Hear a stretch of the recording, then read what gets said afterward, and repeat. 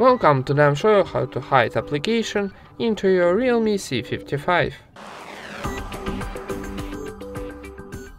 First of all open your settings and into your search of settings write hidden.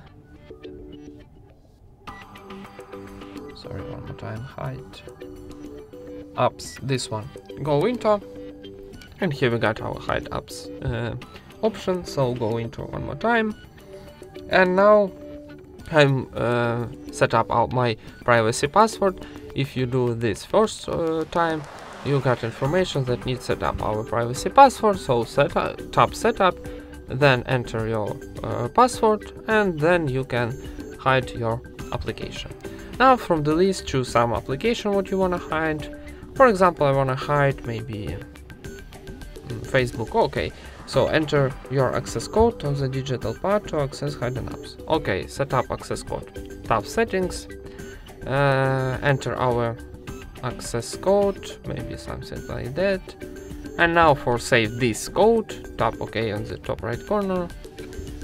Uh, you're all set up, tap done.